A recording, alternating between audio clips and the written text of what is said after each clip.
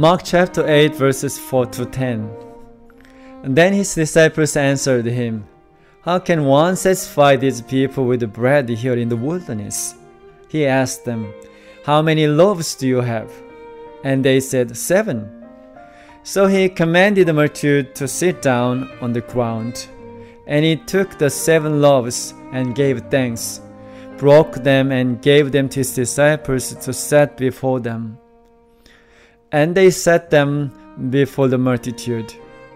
They also had a few small fish. And having blessed them, he said to set them also before them. So they ate and were filled. And they took up seven large baskets of leftover fragments. Now those who had eaten were about four thousand. And he sent them away, immediately got into the boat with his disciples and came to the region of Dalmanutha. If Jesus sent the people back home on an empty stomach, they could easily faint on the way. He shared these concerns with his disciples. The ball was now in their court. What should they have done since they had seen Jesus feed the 5,000. Master, we know what to do. We'll look for some bread and fish. Don't think they should have reacted this way? But they said, How can one satisfy these people with bread here in the wilderness? It's unbelievable. They had seen the miracle and tried to anoint him as a king unless they were complete fools or suffered from dementia. How on earth could they answer that way? The disciples were not educated, but they were certainly not no fools either. So, why did they answer like this? It was prejudice, plain and simple the place where Jesus fed the 5,000 was Jewish territory.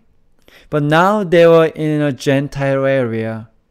Jesus had made an effort to teach them that everyone is God's child, both Jews and Gentiles, when he had uh, talked with the Syrophoenician woman. However, their hearts were still hardened they were not ready to accept Gentiles as brothers.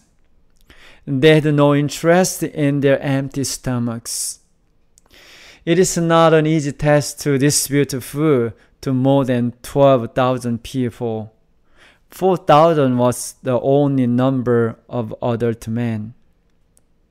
They did not want to render this kind of service to people they regarded as dogs.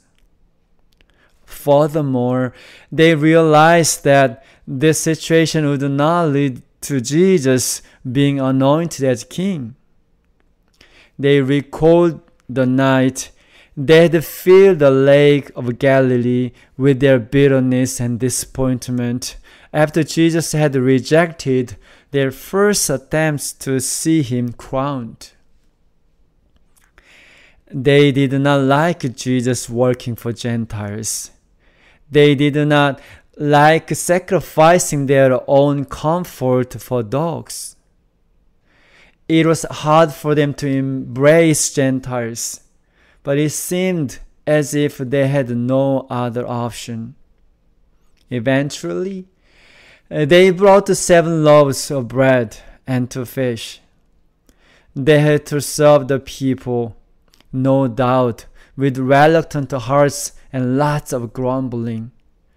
I'm sure it was a learning experience, the blessing of rendering unwilling service. Everyone was well fed, including the disciples, and there were even leftovers. It reminds me of a mother who always cooks a bit more than is necessary. I thank God who loves everyone, both the people I love and people I don't love, and provides abundantly for them.